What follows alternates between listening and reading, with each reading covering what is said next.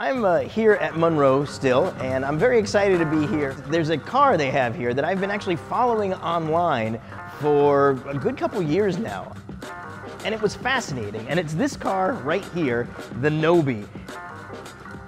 I adore the styling. The styling feels kind of like an old Alfa from the front, but as you progress towards the back, it all of a sudden gets kind of this uh, future as we imagined it in the 60s, kind of Jetsonian tapered rear like a little saucer. It's just a lovely little machine. It's charming and being around it in person, I'm really, it really feels real and it reminds me of an old Volvo P1800 I had and part of it and the scale of it just feels right. Everything about it just feels right. It's got character and charm and the company's smart because it's not just a good style. They've come to Sandy Munro over here to tell them actually how to build these things which is where all these little startups always get hung up, is actually making them. So Sandy, tell me, what are you doing with Nobe and how are you gonna help actually make it so people can buy these things? I never had a trike before, but I, I'm telling you flat, this has the most appealing style yeah. ever.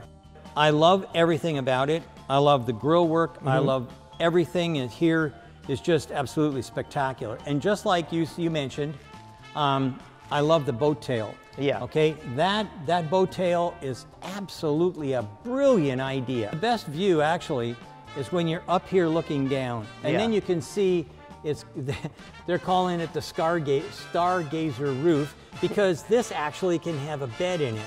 We, we're going to put uh, two kinds of seats. We'll put in bucket seats, probably similar to the ones that we created. Yeah. But we're also going to be looking at um, bench seat, which kind of like folds out into a bed. And this would be an absolute brilliant thing for us to go on a weekend trip or something like yeah. that. Yeah, it's surprisingly roomy inside. I mean, most of oh, this volume is available for people or their stuff. And looking inside, especially with the glass roof, it doesn't feel cramped at all. Like no, it, when you I, sit in it, yeah. I mean, it feels like a vintage car, which I love. This feels like my old Volvo P1800 or an old Karmann Ghia. Yeah. I mean, it just has that beautiful feel about it, and it's so airy and open, and you have a tall greenhouse. I right. love it. I mean, I could see, I just, you would just enjoy the hell out of it driving this thing. It'd right. a blast. And we did move the seats back from where they originally wanted to have them, mm -hmm. and we've still got more room to do that because the seat isn't all the way back yet. But I'm telling you, um, this is going to be made for a guy who's six foot two, or uh, um, a woman who's uh, less than five feet. Yeah. Now, everybody's got problems with three-wheel vehicles. Yeah. So let's talk about how you get rid of those problems. Okay. First and foremost, this has got three-wheel drive. Wow.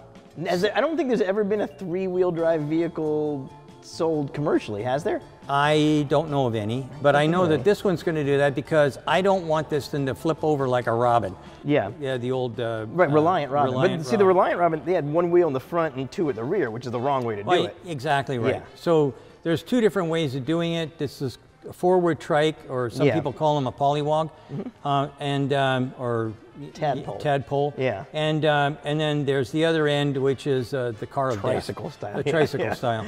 So I think that by having the three wheels with anti-lock brakes and, um, and traction control, along with the fact that this has an air suspension system in it. So that means I can do anti-roll control. Right. So I'm going to be able to pump this thing if it starts weaving over a little too much. Yeah. That that side's going to dip and this side's going to go up and it's going to stay on the so road. So you're just it's never going to get any kind of a tippy no. problem. Mm -mm. No. And what you're looking at is the coupe yeah. But we're also going to do a cabriolet. So um, this would disappear. Right. Uh, this will swing shut over here. Right. And it'll come with a tonneau. Yeah. That'll snap uh, snap in. And we're also putting in airbags, but they're not going to be coming out of the steering wheel. They're going to be coming out of the uh, out of the lap belt. Ah, so um, uh, this will pop out and make sure you don't go smashing in there. Right. So it's it's a little heavier on your lap.